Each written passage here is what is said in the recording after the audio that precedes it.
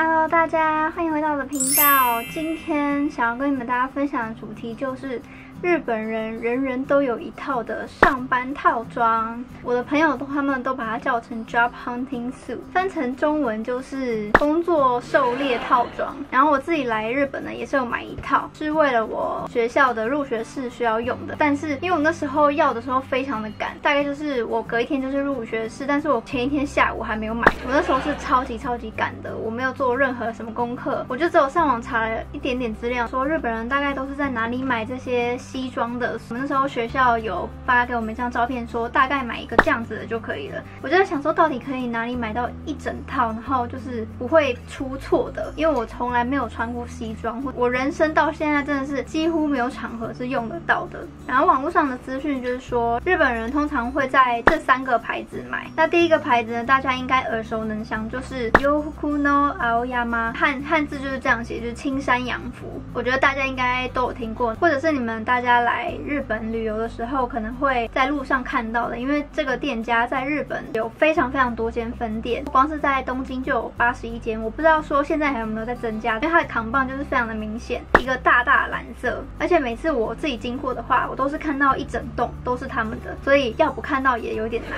对，那我来看一下小超，他说呢，青山洋服的特点是功能性强、免烫、防皱、防水、耐磨、抗变形，然后有一些呢也可以丢进洗衣机面洗，所以他们就说这个牌子是非常适合每天都要骑电车的上班族，因为对他们来说很方便。如果你可以丢下去洗衣机里面洗，又不用烫的话，其实就可以省掉非常多时间。那这个牌子呢，好像是从二十几岁到七十几岁都有人在穿吧，在日本，所以应该就是为什么这个牌子可以在日本有这么多间分店哦。然后我刚刚不是有提到说，每一次看到他们都是很多个楼层嘛，他们好像就是楼层越高的质感就会越好，然后价钱就会越贵。所以这个牌子呢，从低、中、高价位好像都有的样子。那第二间呢，就是我自己选的这间叫 Aoki。那我为什么选它呢？没有什么原因，就是因为离我家比较近。然后那时候我又很赶着要，所以我就想说，哈，随便随便就去一间比较近的就好了。对，然后他们的袋子是长这个样子的，非常大一个。那我真的是买了一整套。我等一下讲解完之后呢，我再来穿上去给你们看，然后再跟你们说我买了这套买了多少钱。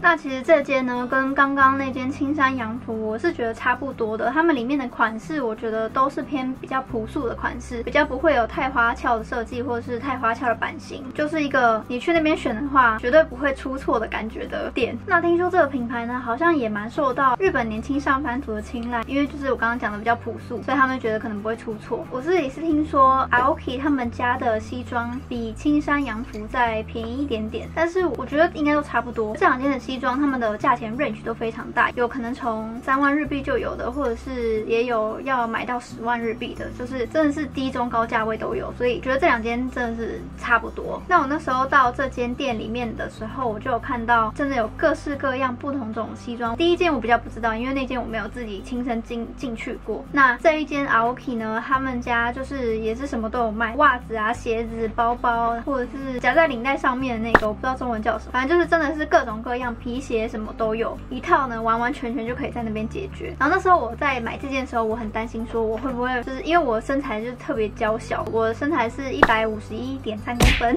三十八公斤左右，所以我要买到真的完全不用改的衣服实在是蛮难的。但是我后来发现说，哎，日本西装还蛮适合我的，因为日本人都普遍比较娇小，然后其实蛮多女生的身高也跟我差不多，所以我那时候买这套的时候完完全全是没有改的。那第三间叫 The Suit Company，这间的话听说好像定位就是比较年轻化一点，可能是 for 那种二十到三岁的上班族，年轻上班族这样，他们的设计会比较年轻一点，可能比较不会有那种宽肩啊、窄腰的那种设计，所以比较受到年轻人的青睐。那时候在买这个的时候呢，是完全不知道有 The Suit Company 的，所以我还是去了 Aoki。那听说这件牌子呢，在跟 Aoki 跟青山洋服比的话呢，在质感上或者是价钱上也都没有什么特别优势，只是因为他们设计好像比较年轻化一点，所以才比较多年轻人喜欢。好，那大概就是这样。就前面讲的这三个牌子呢是，日本人会常去买西装的牌子。那日本人上班族的西装文化真的是非常非常的深，我也不是真的很了解，所以如果大家真的想要细细的了解的话呢，可能就是要自己上网查一下会比较好。然后我现在就来换一下我这套西装给你们看。我先来给你们看一下有什么东西。第一呢，就是会有这个包包，我这个包包真的是随便乱选的，因为我那时候就想说，天哪，怎么都这么丑？但是我又没有一个就是这么正式的上班族的包包吗？对，那我这个包包呢，真的是只用过我入学式那一天，就再也没有用过，我就可能之后一辈子都不会再用它，我可能会看看情况，然后把它拿去卖掉之类的，因为就是真的不是我平常会背的包包。然后再来呢，就是会有这个鞋子。这是成套的，他们的鞋子呢，通常都是低跟，然后全黑的皮鞋。我也是只穿了一次，然后你们看下面真的超干净的。然后那时候我还要买两双丝袜，因为日本女生呢，听说说她们如果要穿就是那种会露腿的下半身的话，就一定会买丝袜来穿，不然就会很像裸体的感觉。然后我就好像自己有一点点被影响，所以我想说，嗯，不买丝袜是不太好，所以我就还是买了。然后。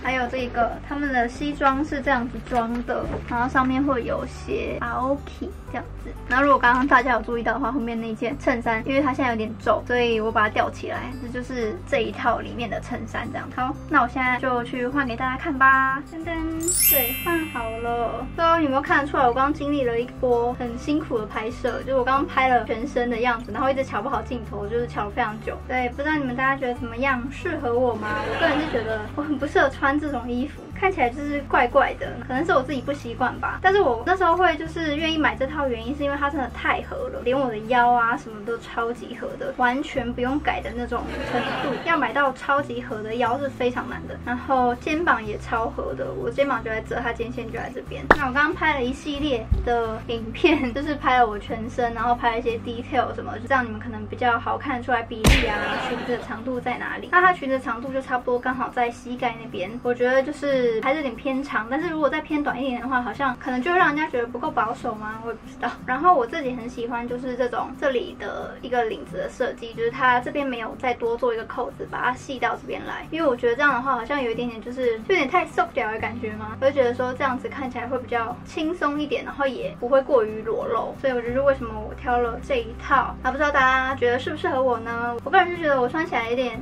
年纪显老的感觉，觉得这个呢可能就比较适合学生啊。上班族穿的，真的是不知道我以后会不会再用到哎。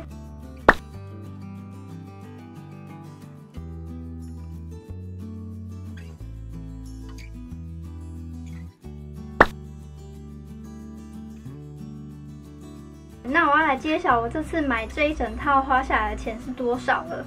我只能用凭印象，因为我刚刚在那边找，就是收据的时候我找不到，因为我这件真的是买太久了。我以我放在那个袋子里面，结果就不见了，所以就是只能告诉你们一个大概的价钱。那我这样子全套下来，就是包括包包、鞋子、丝袜，还有衬衫，然后这一整套西装下来是大概五万多日币，快要六万块。我记得好像是五万九千八。对，不知道你们觉得贵不贵？我个人呢。是觉得还是非常贵，但是在以正装来讲的话，就是以这种正式西装，我觉得好像已经算不贵了。因为那时候我买这套的时候，我就问一下我们学校的那个工作人员，然后他们就说，哦，其实你这样不算贵。我想说，哈，真假的不算贵？因为我对就是这种正式西装的价钱是完全没有概念的。我只知道说，比如说你要去定做的那一种西装的话，才会特别贵。那算六万好了，六万日币的话，加起来这套的话，就差不多要一万六千多台币哎，我觉得还是很贵哎。就是我平常绝对不会去买这种衣服。所以才会觉得特别贵。正装这种东西好像一直都不是特别的便宜，很多人可能买这一套就是穿非常非常久。如果能维持身材的话，我应该也会想要穿这套穿的比较久一点。但是我不知道我会不会用到，对，还是我应该就是没有刘海会比较好一点。你们觉得呢？因为不会穿出去啊。但是我觉得它质感真的很好啦。我这整套的衣服牌子好像是这个牌子的样子，鞋子上面的这个牌子。我会念，对，如果大家知道这个牌子的话，可以在底下留言。我再配上这个包包，这样子感觉就可以出门去找工作了。但是我可能要先把头发染回去。对了，然后我听说说日本的西装啊，通常都是 H 型的，比较不会做这边宽啊，然后这边窄的，所以它就是比较直的下来嘛。但我觉得还是还是有点窄腰哎，而且很显身材，就是就是明明身材没有很好，但超显身材的。好，那今天的分享就分享到这边，希望大家会喜欢穿正式西装的我，真的好不适合哦。好，那就这样啦，我们下次影片见，拜拜。